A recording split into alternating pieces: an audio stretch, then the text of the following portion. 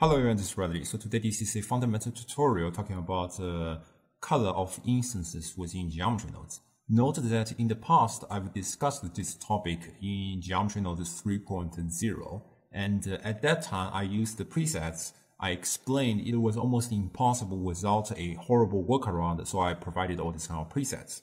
Okay. Today we're going to repeat this tutorial because this is 3.1 and the workflow has been changed. In this tutorial, we're not going to use presets because it's not necessary. Everything becomes so much easier. So how the workflow has been changed exactly is the topic that we're going to discuss. So let's start. So here we are in Blender and this is a pretty simple setup that I have a grid and I instance my cube onto each point of this grid I also add a set of material node, otherwise this kind of cube instances cannot carry the material.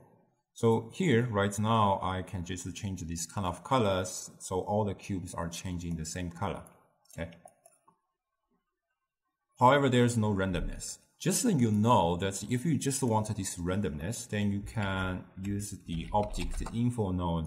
There's a random socket you can plug it into the base color and immediately you have this result being done. Okay.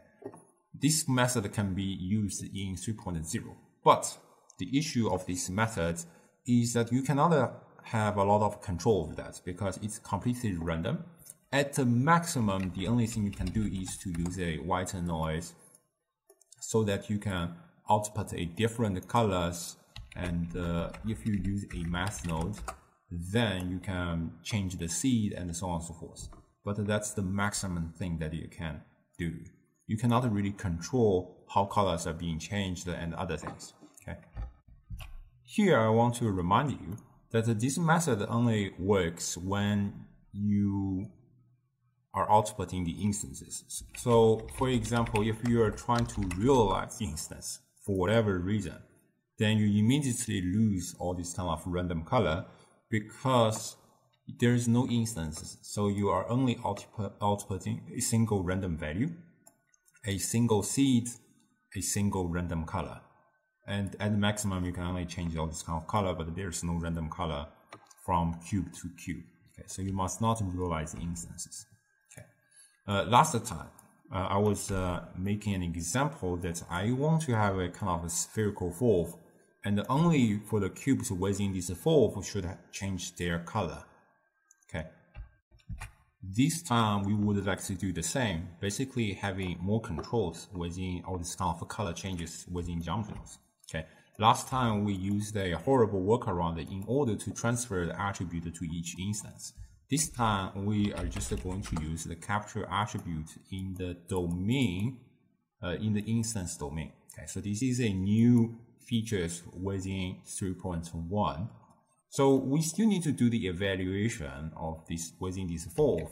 You can use the geometry proximity or other things. Um, it's, it's something that has been explained, but I do not really would like to construct a horrible node tree for this.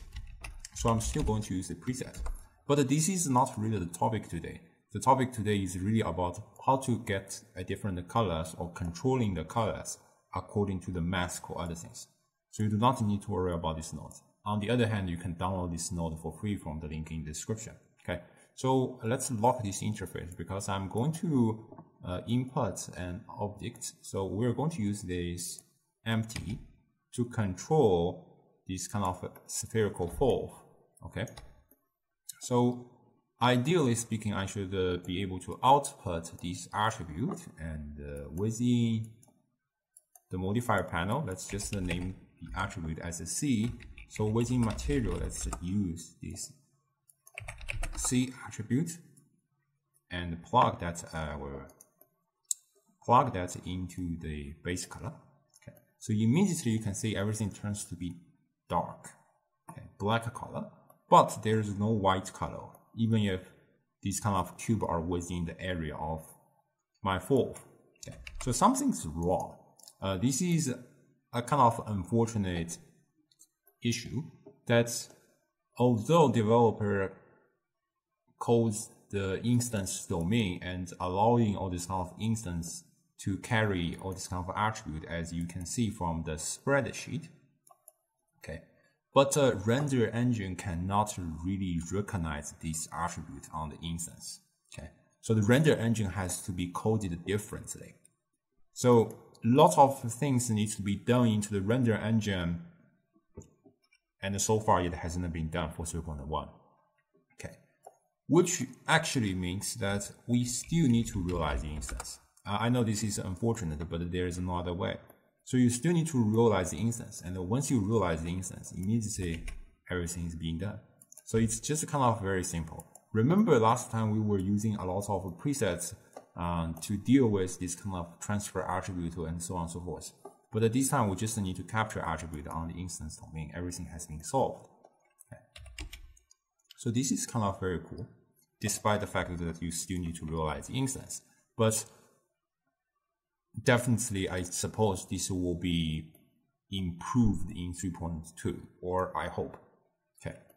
Uh, another thing that uh, if you just want to have a random color, uh, although previously I've already explained the method to get a random color, but uh, what you can also do is to use a random value, take a, or actually you can use the white noise, almost forgot. You can take a white noise and plug the value. It'll basically do the same. Uh, you can also use the color and take the color. So output must also be an color. So let's take the color attribute is completely okay. So another thing that you can potentially do is that there is a mesh island. Okay. And there is an island index. So you can use the island index even after you realize that. So right now, let's take this island index. So this is also a way to give random color even after you realize the instance. Because there are some moments that you need to realize the instance and previously mentioned that uh, object info methods won't work. So these are different cases that you can give a random color or having more controls within geometry nodes. But basically that's it. So I hope it's not an overwhelming tutorial for that. And uh, I hope geometry nodes can improve even further Uh, in 3.2. So I hope you enjoyed this tutorial. I'll probably see you next time. Bye bye.